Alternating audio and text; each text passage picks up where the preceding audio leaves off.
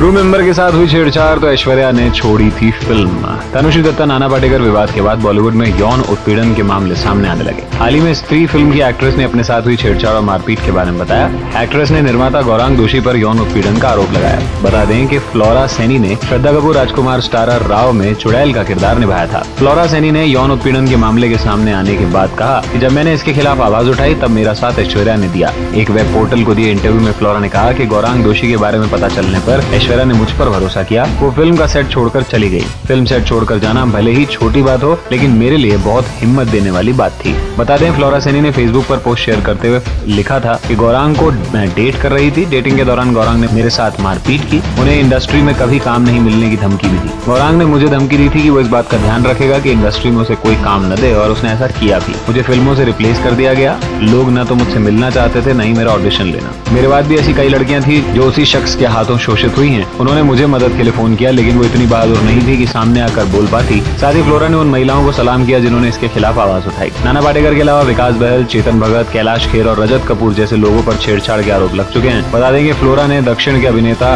Rajinikanth Vijayakanth Prabhu Karthik doctor Balakrishnan Venkatesh Jagapati Babu doctor Rajasekhar और अन्य बड़े कलाकारों के साथ काम किया है फ्लोरा को दक्षिण भारतीय भाषाओं का ज्ञान है हिंदी अंग्रेजी के अलावा फ्लोरा तमिल तेलुगु कन्नड़ और बंगाली भाषाओं की जानकारी रखती है इसीलिए साउथ में वो काफ़ी पॉपुलर भी रही